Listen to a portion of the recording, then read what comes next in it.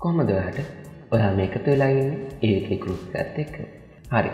අද MS word පාඩම් මාලාවිදි අප බලමු මේ හෝම් ටැබ් එකේ තියෙන ඔප්ෂන්ස් කීපයක් එමන්නත්තම් හෝම් ටැබ් එකේ අපිට වැඩීම අවශ්‍ය වෙන මෙන්න මේ ෆොන්ට් කියන කමන් ගරුප් එකේ තියෙන ඔප්ෂන් කීපයක් ගැන. හරි. හෝම් ටැබ් එකේ අපිට වැඩීම අවශ්‍ය වෙන්නේ මෙන්න මේ කොටස් ටික. එතරමතුත් මේ හෝම් ටැබ් එකේ තියෙන ඔක්කොම වගේ අපිට වැඩීම අවශ්‍ය වෙනවා. නමුත් වැඩිපුරම අවශ්‍යන කොටස් දෙකක් තමයි මෙන්න මේ ෆොන්ට් සහ ෆොන්ට් සයිස් කියන්න. අප බලම ෆොන්ට් කියන්නේ මොකක්ද සහ ෆොන්ට් සයිස් කියන්නේ මොකක්ද කිය ෆොන්ට් එක කියල කියන්නේ අකුරු වර්ගය. ෆොන්ට් සයිස් එක කියල කියන්නේ අකුරු වල ප්‍රමාණය.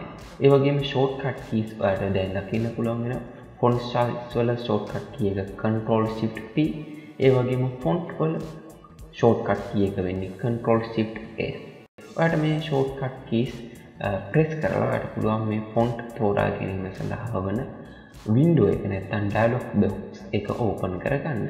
හරි. දැන්ට ඕපන් කරද්දිම ඔටෝමැටික් අරගෙන තියෙන ෆොන්ට් එක තමයි මෙන්න මේ ෆොන්ට් එක.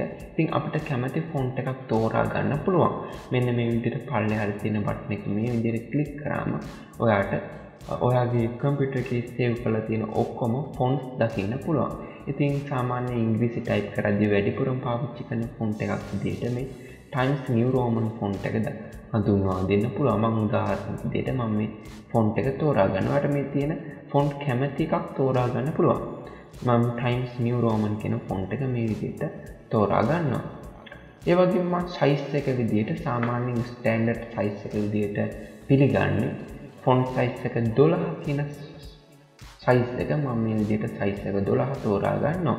තින් මගේ මෙන්න මේ වීව් එක අරගත්ත නැත්තම් මේ මෙනු එක අරගත්ත මෙන්න මේ කොනේම තියෙන දකුණු පැත්තට යොමු වෙච්ච ඊතලේ කලික් කරලා මෙතන කලින් නිර්මාණය කරපු සයිස් කීපයක් දකින්න පුළුවන්. ඒ වගේම ඔයාට අවශ්‍ය සයිස් එකක් මෙතන ටයිප් කරන්න අවස්ථාව තියෙනවා. ඒක කරන්නේ මේ විදියට මේ විදියට මෙතන තියෙන ටෙස්ට එක සිලෙට් කරගන්න. මන්නත්තම් මෙතන මවසල තියෙන කලික් කරලා මෙතන තියෙන ටෙස්ට එක මේ විදිට මකන්න පුළුවන්. කීබෝඩ් එක බැක් ස්පේස් බටන එක කලික් කරලා බැක් ස්පේස් බටන එක ප්‍රෙස් කරලා ඊට පස්සවට පුළුවන් කැමති ෆොන්් සයිසයක් මේ විදියට ලබා දෙන්න.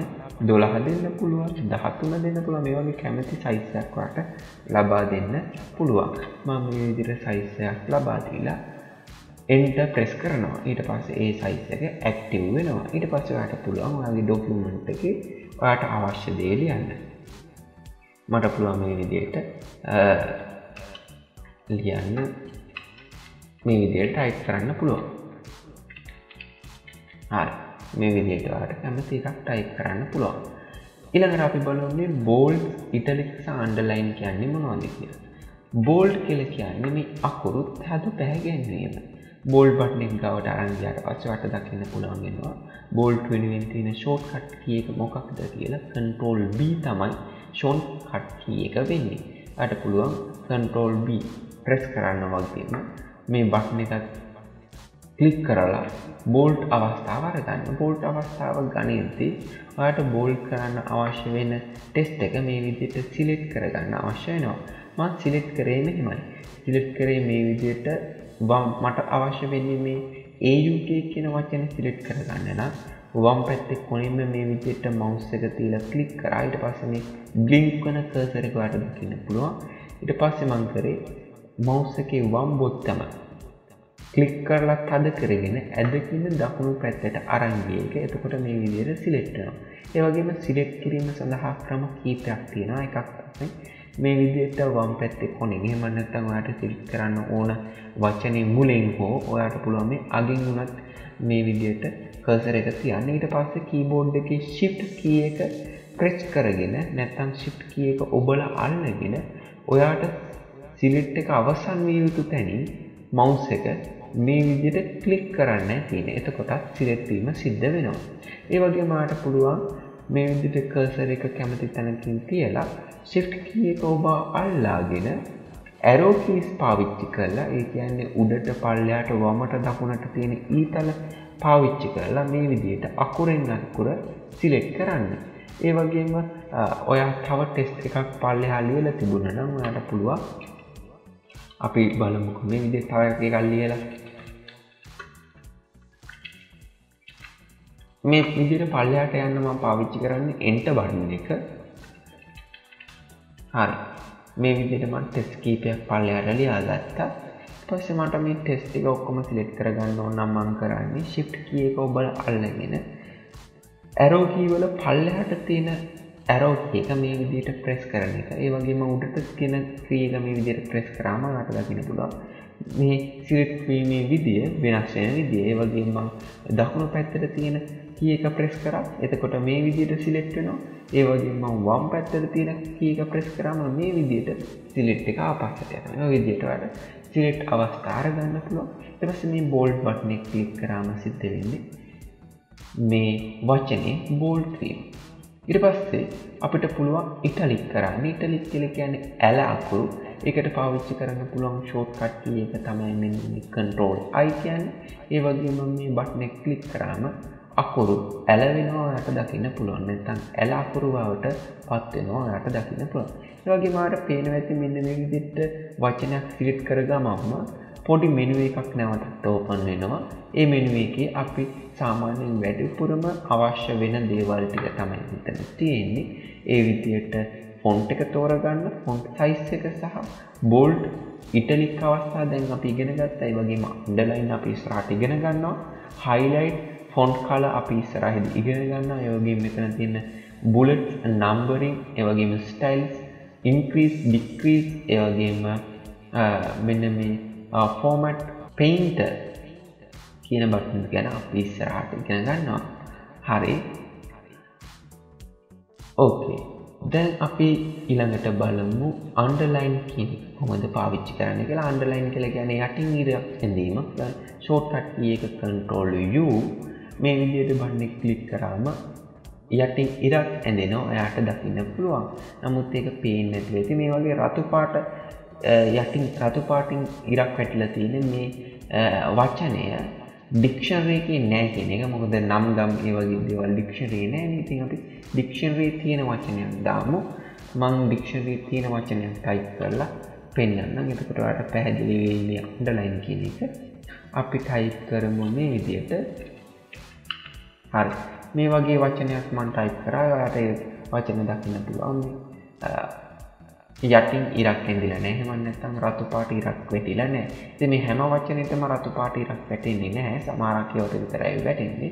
ප්‍රහේතුව වෙන්නේ ඩික්ෂනරයේ ඒ අද්දාල වචනය නැත්තම් ඒ වචන යටි ඉරක් ඇඳීම තමයි සිද්ධ වෙන්න. මොකදම අපිට වර්ඩ් වලදී වර්ඩ් පාවිච්චි කරන්න පුළුවන් අපේ ලියපු ලිපියේ මොනවා හරි වචනවල වැරැද්දක් තියෙනවනම් ඒක පවා සොයා ගන්න. ඉතින් ඒකට පහසු වෙන්න තමයි මේ විදිහට ඩික්ෂනරි නැති වචන යටින් රතු පාටින් ඉරක් ඇඳෙන්නේ. හරි මේ ස්ටාර්ට් බටන් එක නැත්නම් ස්ටාර්ට් වචනේ මම මේ විදිහට සිලෙක්ට් කරලා මේ විදිහට අන්ඩර්ලයින් බටන් එක ක්ලික් කරාම ආට මේ යටින් ඉරක් ඇඳලා තියෙනවා දකින්න පුළුවන්. ඒ වගේම මේ අන්ඩර්ලයින් බටන් එක දිහා බැලුවොත් ඔයාට පුළුවන් දකින්න මේ අන්ඩර්ලයින් බටන් එකේ අවසාන කොනින්ම තියෙනවා පල්ලෙහාට යොමු වෙච්ච ඊතලයක් ඒ ඊතලය මේ විදිහට ක්ලික් කරාම මේ විදිහේ මෙනු එකක් ඔයාලට දකින්න පුළුවන්. ඒක මේ අන්ඩර්ලයින් ස්ටයිල් කීපයක් ඔයාලට දකින්න පුළුවන්. ඩබල් අන්ඩර්ලයින් ඒ වගේම තද වෙච්ච අන්ඩර්ලයින් නැත්නම් අන්ඩර්ලයින් එක ටිකක් තද වෙච්ච තද පැහැයක් තියෙන අන්ඩර්ලයින් එකක්.